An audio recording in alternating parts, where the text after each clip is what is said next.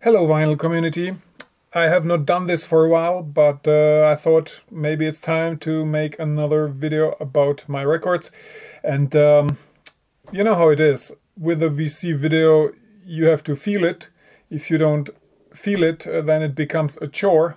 And honestly, I have uh, far too many other real chores on my hands, so um, I certainly don't want the creation of these videos to deteriorate deteriorate in this direction. This is a difficult word for me to pronounce. Deteriorate, deteriorate, deteriorate. Whew. Be it as it may, my ability to speak English really benefits from making VC videos.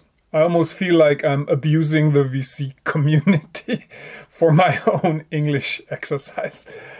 However, let's talk about music. Um, so I have uh, quite a lot of uh, records here right now, and um, my uh, playlist of the last three or four weeks was actually quite jazzy.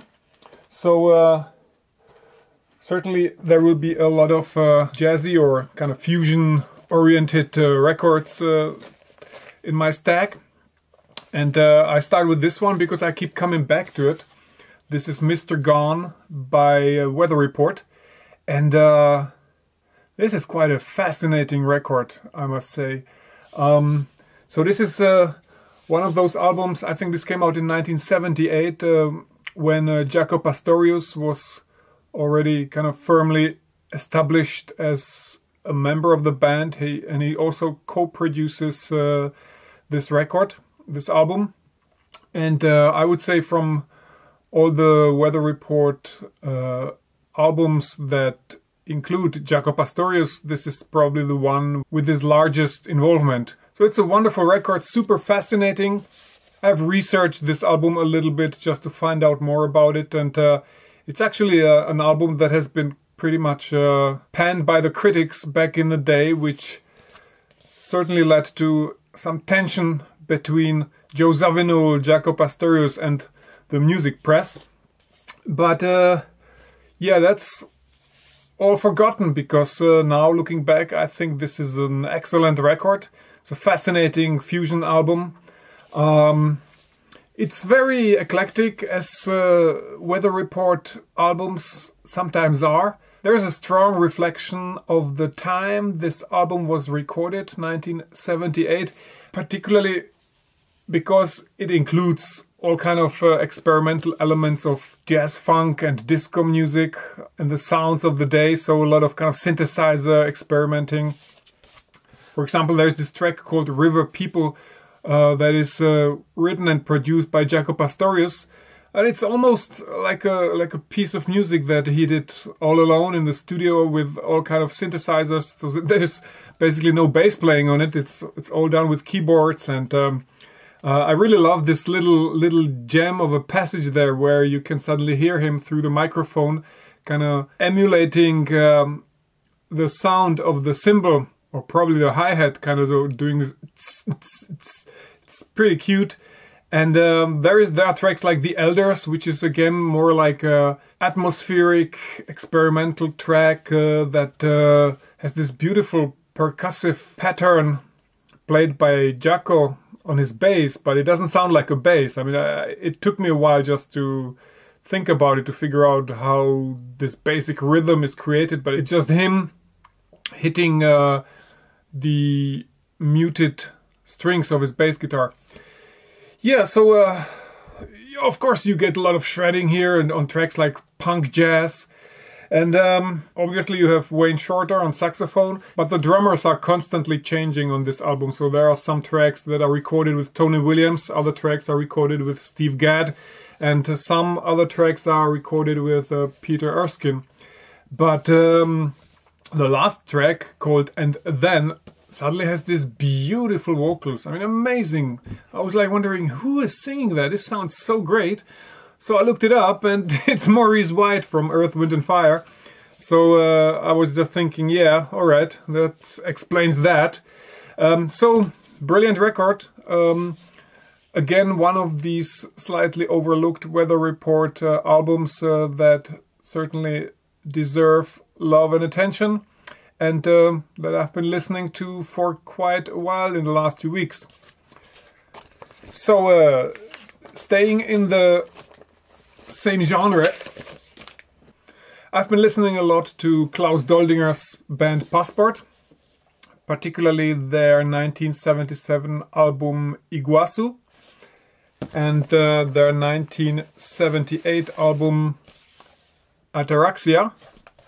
And because I couldn't get enough of Passport, apparently, I also listened for a while to Earthborn, which came out in 1982. Now, um, I remember when I was becoming interested in music in the 80s, uh, I noticed that uh, there was always this tendency to set Passport up as this kind of a German answer to Weather Report, which they just aren't, honestly. And I don't mean it as a critique, but uh, I think the major difference between Weather Report and Passport lies in the fact that Weather Report was always very much interested in pushing the fusion envelope and uh, it could could musically be much more challenging while uh, passport um, passport's music has always been in a sense one step away from well from something like library music. And i don't mean it as a critique because library music can obviously be wonderful. And it's no coincidence that a lot of members uh, of passport were involved in companies and productions uh, dealing with library music. Um, but uh, it's something you would not say about weather report. And uh, so uh, obviously passport as a band and their albums they stand much closer to uh, the concept of a kind of a musical wallpaper. So, in a sense, you could always make the argument that Passport's music is much more fitting as a background music while you are working on the computer. And uh, it's always pleasant. I really like their records. I mean, I didn't try to sound negative right now. I just never really bought into the idea that Passport is the German answer to Weather Report. They are just uh, their own thing and uh, certainly closer to kind of a mainstreamy idea of jazz rock than Weather Report. Um, interestingly, um, and that's probably one thing they have a bit in common with Weather Report is that their music has always been quite kind of spongy which means they reflect a lot what's going on around them. If you take Iguazu, it's still kind of in this uh, Latin jazz fusion paradigm, but one year later, on Ataraxia, you have tracks like Locomotive, which are definitely inspired by Giorgio Moroder and kind of reflect the the rise of disco music. Um, and this goes even further three years later on Earthborn, which obviously has all kind of elements of uh, 80s synth pop going on. Passport always had great bass players. I mean, the, the one big name, particularly on this album, is Wolfgang Schmid. Um, later, well, from this album on, year later, replaced by Dieter Petereit. Now, the drummer most associated with uh, Passport is obviously Curt Cress, who is probably like Germ- one of Germany's most famous drummers. Interestingly, uh, uh, he was not on this album. Here he was replaced by Willy Ketzer. He probably had other projects going on. So uh, yeah, I like those albums. Um, I guess my favorite on Iguazu would be a track called Agua Marina. It's the second track on this album, but also the last track, Guna Guna. It's pretty good. Um, on uh, Ataraxia, uh, there's quite a lovely track called Sky Blue. Uh, but nonetheless, uh, those albums are always uh, very enjoyable from beginning to the end. Um, there are not really obnoxious songs on records like that. Um, yeah, but um, actually, uh, if you take Earthborn, there is a track called Basic, which uh, is an amazing example of uh, Dieter Petereit's bass playing. That's really incredible. And it's actually one of the moments where passport hits this weather report mark, I would say. I mean, check out this track called Basic. Just to hear uh, Dieter Petereit playing bass, it's quite cool. Uh, this is uh, full throttle jazz fusion. For me, one of the best tracks on this album. So, uh, I've been talking a lot about Passport right now, right? Um, I bought this album here. This is one of the few examples that I bought just something completely on a whim. Um, this is a compilation of Billy Cobham, but the interesting thing about it is that this came out in the early 80s on the East German label Amiga as part of their Amiga Jazz series. And um, yeah, it only cost me a few bucks, so I thought, why not? Just a spur of the moment thing. So, um, Billy Cobham, released behind the Iron Curtain. Now back to the present. I've been listening to some great contemporary stuff in the last days. So, uh, first album that I want to show you was suggested by Jeff in his channel Liner Notes. And the band is called Wax Machine. And this album is called Earth Song of Silence. Now, when I call this a kind of a neo hippie band, I'm not trying to be pejorative in any way. It is an extremely charming psychedelic rock, very tastefully recorded, very pleasant. The sound is quite lush and in parts almost ethereal, but on the other hand, there are some bona fide tough guitar solos going on and overall if i had to sum it up with one word it would be simply charming. This is an extremely charming music and uh, quite enjoyable. Um, this came out on the label Beyond Beyond is Beyond Records, which is a North American label that I believe uh, also releases bands like uh, L'Eclair. So, to some extent, this is kind of part of this uh, of this somewhat psychedelic, somewhat funky, somewhat jazzy uh, new sound that uh, fascinates me a lot these days. And uh, this is certainly a wonderful addition to my collection. Now um, I have to cough before I talk about the next band because uh, it's a doozy. So if uh, the last 30 years, if someone would have asked me what I think is the most important uh, Australian band, I probably would have said Icehouse. Um, I would have said that probably because I don't know that many Australian bands in the first place, but also because Icehouse has always been this amazing institution of its own.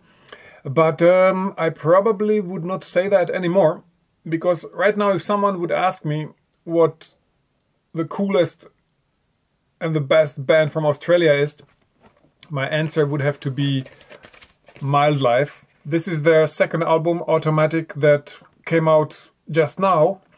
Um, it has already been shown by Big Star 1000, unsurprisingly, since uh, he lives in the same city where this album was released.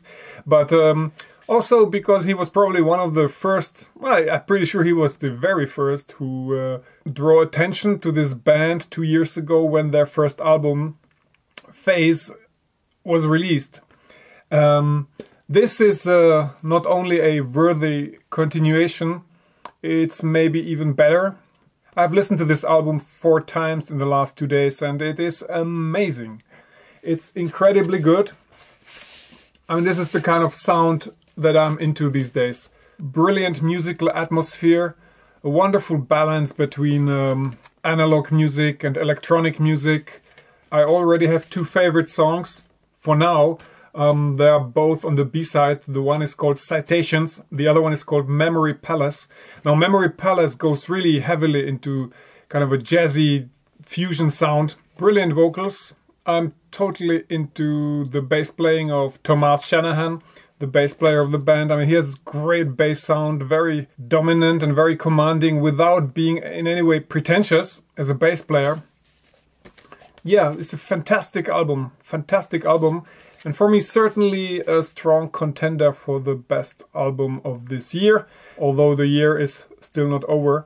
But um, yeah, this is uh, really a, an amazing album, and I'm really not afraid to recommend this to everyone. So uh, check it out, Automatic by Mildlife.